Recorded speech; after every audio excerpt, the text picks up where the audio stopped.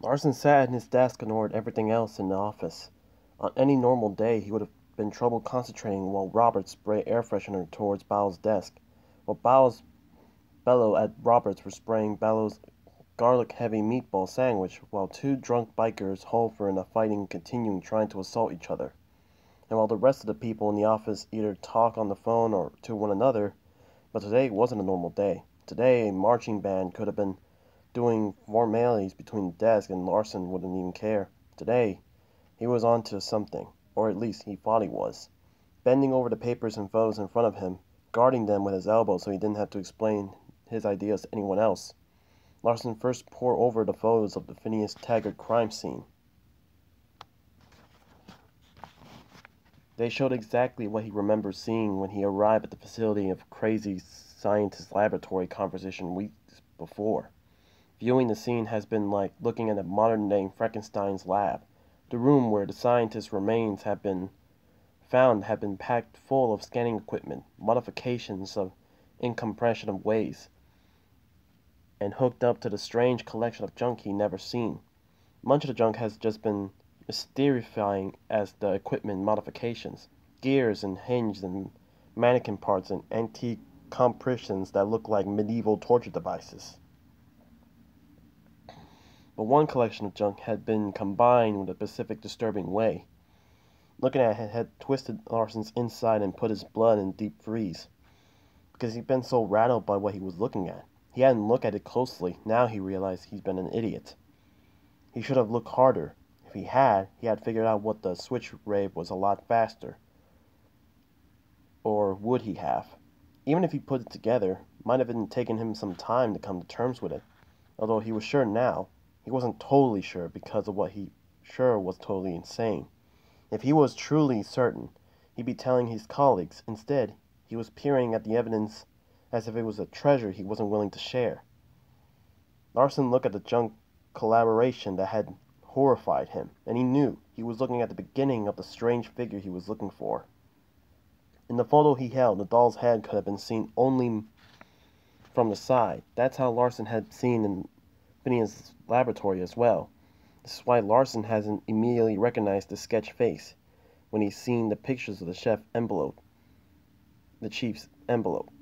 But that head, he was sure it was the head, was attached to the metal endoskeleton. Okay, the mystery figure has always described as wearing a hood cloak, but Larson remembers seeing a long and venomously blonde trench out coat in Phineas's cl clothing that could easily have been misleading as a cloak. Larson set down the photo. He began reading through the inventory list of Phineas's property. Running his fingers down the list, he read the items aloud under his breath. He stopped at the tenth item down. There it was, one robotic dog. One robotic dog, dismembered, manufactured by Fazbear Entertainment. Larson looked at the endoskeleton again. It seems to have an addition. So part of the dog could have been used on the endoskeleton. Okay, so we have an animatronic endoskeleton linked to a part that came from a Fazbear Entertainment robotic dog. Was he making too much of a leap connection to dots? The dog was connected to Fazbear Entertainment, which was connected to Freddy's murderers, and the dog connection to the thing of the sketch face. So that meant Larson currently investigation could have connected to Freddy's murders.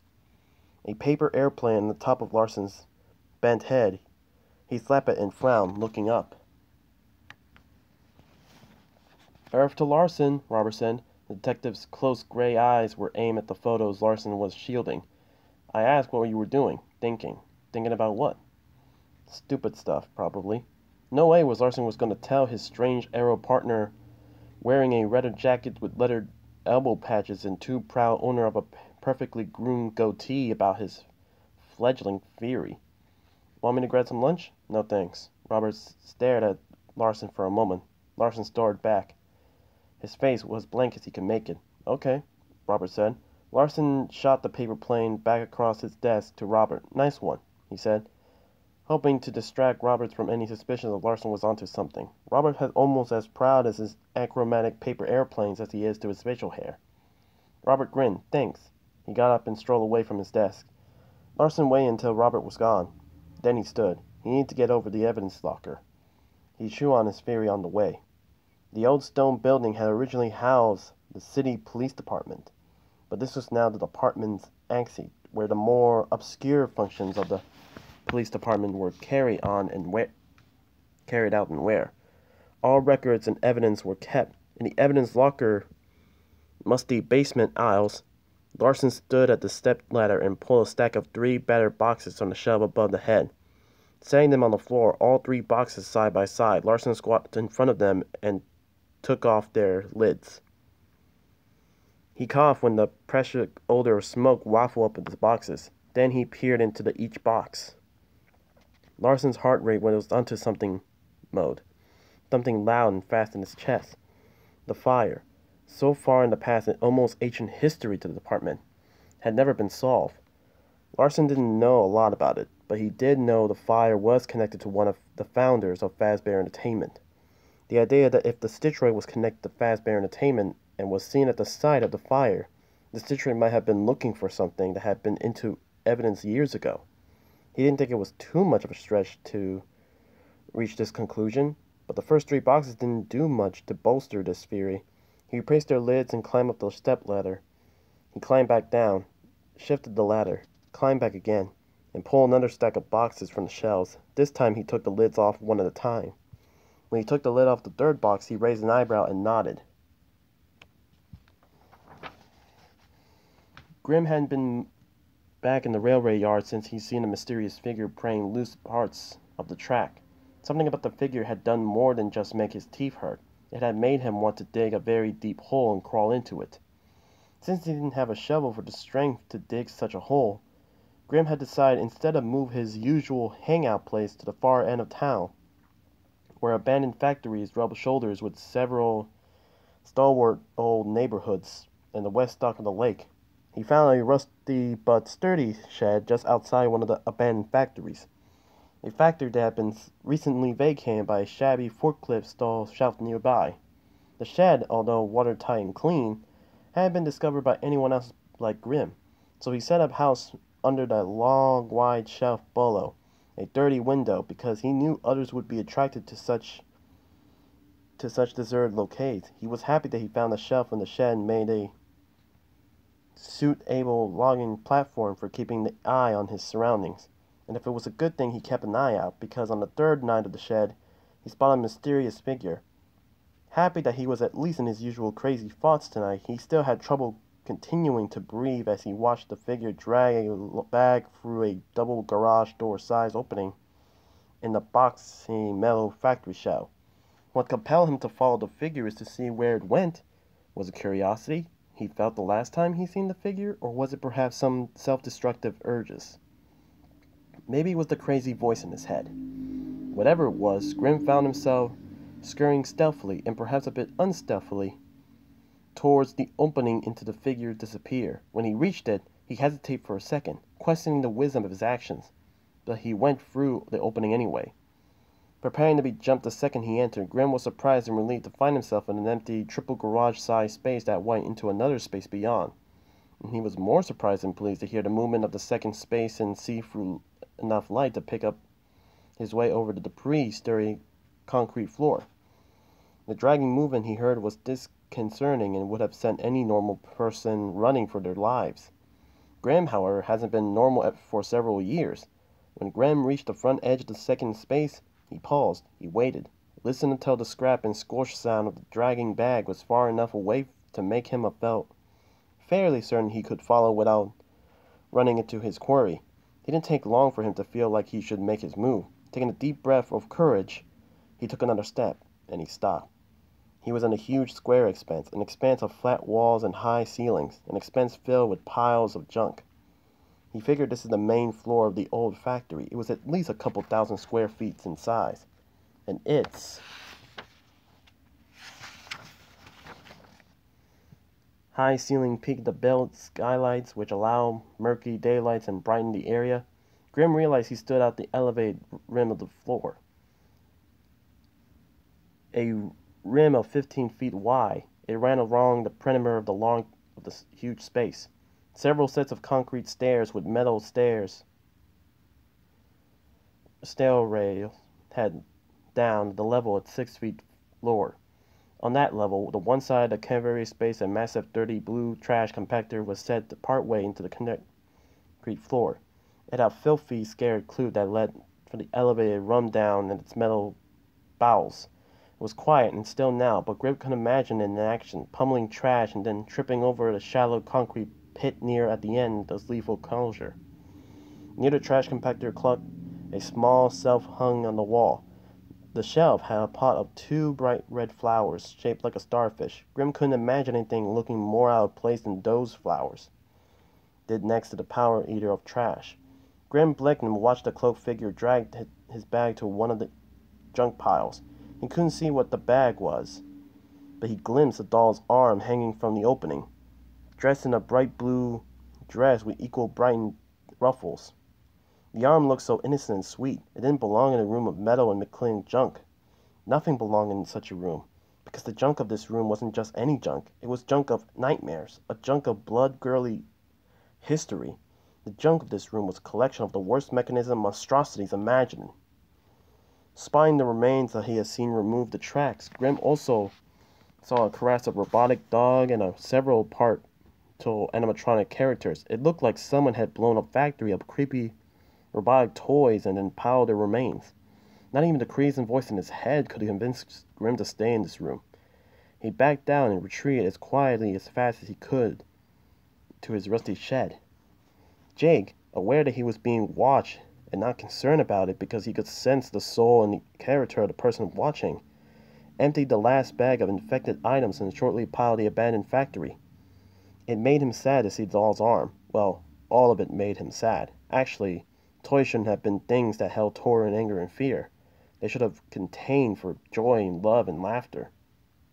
Ever since Andrew had told Jake about all the infected things, Jake has been using the thing he and Andrew were in to gather all the stuff Andrew had infected. When he first had the idea to do that, he wasn't sure if he actually do it. He didn't know what he and Andrew were were in then, just that it was made of metal and could move. But now he understood that he was an animatronic endoskeleton run by a battery pack, and he understood that by looking at the world through a doll's eyes, none of it felt strange to him. The only thing he thought was funny was that thing they were in the wearing a hooded trench coat. Going around in trench coat felt really silly. And it was hard to go over these things. Harder than he thought it would be. Andrew had infected so much stuff. Jake had understood how tiring it was going to be to use his will to get the locations from Andrew's mind and make the animatronics go all over the place finding the stuff. Jake was feeling so worn out. It was like before he felt his left his little boy body. He wasn't sure he could keep go- doing what he needed to do. Maybe he, he should just give up and let go. Jake hadn't done anything wrong. Why did he have to be the one to fix Andrew's mess?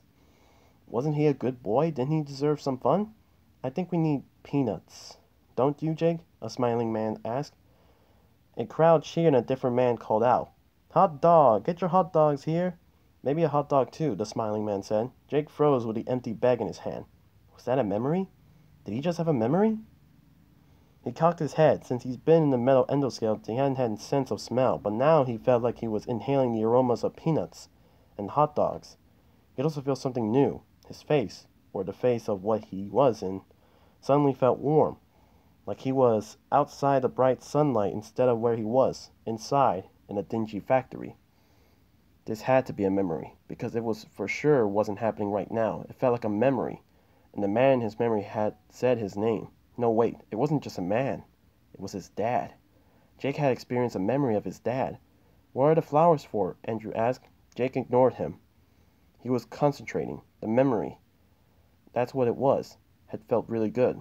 Jake had Jake wanted more of it. He was closing his eyes and focused on the smells and sounds of the centuries. Let's have both, Jake said. Jake's dad said. He motioned, and a man came over and tray full of roasted peanuts in small bags. Jake felt himself settling his little boy body. He looked out through the window boy's the little boy's eyes, and he saw a big field of grass and huge crowd of people. Jake, what about the flowers? Andrew asked. Jake didn't answer. Instead, he picked up a watering can he left under the shelf holding a power, a power pot. He walked over the wa- to water the flowers. At the same time, he returned to his memory. As Jake watched his dad exchange money for one of the bag of the tray, understanding came back to him. For the first time since he became aware of being an animatronic, he was now in.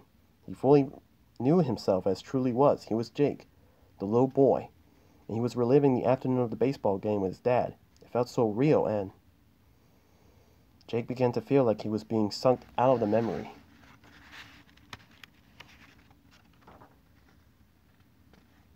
He felt like he was a puff of smoke, and he was being brought from an air currently away from the being that contained him. He could feel himself being pulled into the memory itself, and he intuitively understood that if he was involved in the memory, he could stay in the happy place forever. The crack of the bat resounded, and the crowd rised in the feet cheering. Get your glove up, Kate, Jake.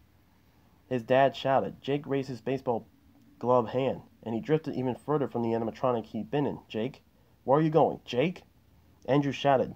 Jake realized he could easily relax in the wonderful memory and allow the whole of who he was to be extracted from the animatronic that contained him and Andrew. He could stop trying so hard. He could go have fun. Jake! Andrew called out, but Jake couldn't have Andrew. His new but Jake couldn't leave Andrew.